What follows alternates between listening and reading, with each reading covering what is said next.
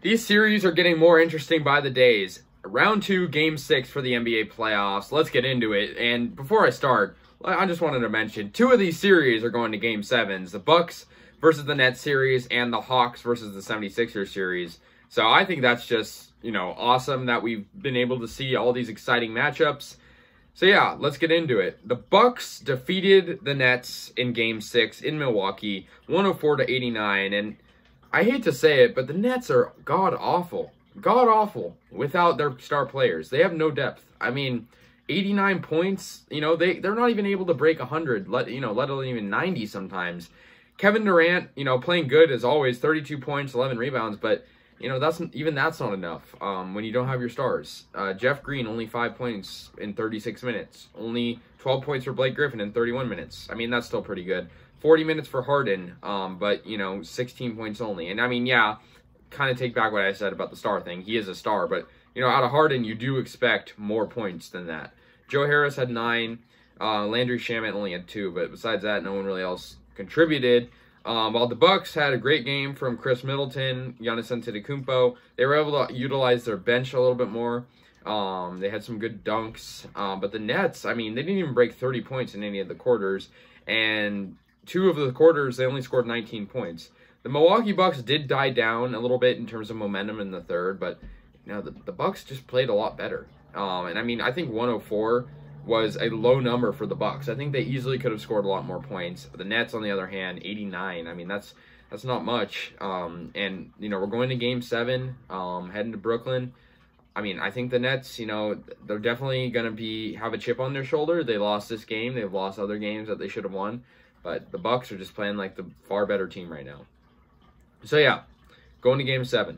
Next one, Sixers Hawks. The Hawks lost in game six, so we're going to have a game seven in this series too. Sixers won 104 to 99. Close one. They won by five. This one kind of came down to the end. It was in Atlanta. Um, leading scorer for uh, the 76ers was Joel Embiid with 20, or actually Seth Curry with 24 points. Tobias Harris had 24 points too. Uh, Furkan Korkmaz had seven points, 22 for Embiid. I mean, not, nothing too crazy in terms of scoring for them. No one over, you know, 25 points, but still, I mean, collectively they played well. Ben Simmons didn't play that good. Um, he, he shared the ball, but only six points. Hawks, I mean, you know, Trae Young played great as always. He had a double double with um, 34, 12, and 5, 34 points. But, you know, I mean, he didn't, he needed more help. 14 from Capela was good, 17 from Huerter. Um, Bogdanovic only had seven, though, um, 16 for Gallinari. Um, and I mean, I think both teams played good. This series has been great. The Hawks are a surprise to me. I mean, if they win this series, it'll be a huge upset.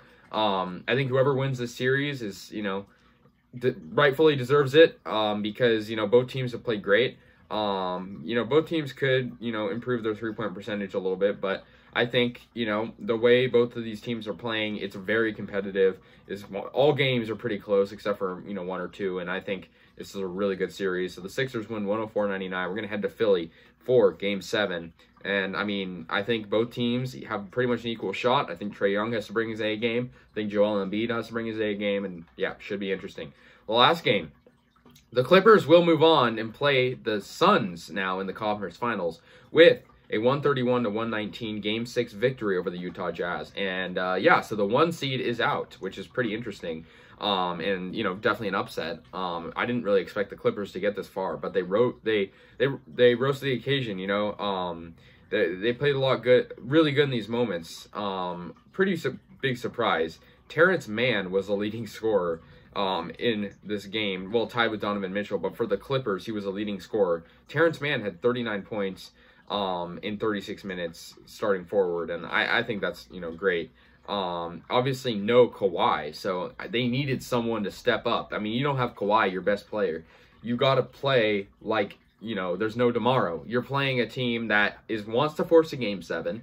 They're the one seed for a reason, and he rose to the occasion congrats to Mann. I mean, he, you know, I'm not a Clippers fan, but I like to see guys that don't normally score that much, you know, play like there's no tomorrow, like I said. 28 for Paul George, he's playing great. 27 for Reggie Jackson, 12 for Patrick Beverley off the bench. Um, 7 for Marcus Morris Sr., 16 for Batum. Jazz, like I said, they had uh, their leading scorer was Donovan Mitchell with 39 points in 40 minutes, but he needed, you know, help as well. Um, Bojan Bogdanovic had 14. Um, Rudy Gobert had 12. He had a double double.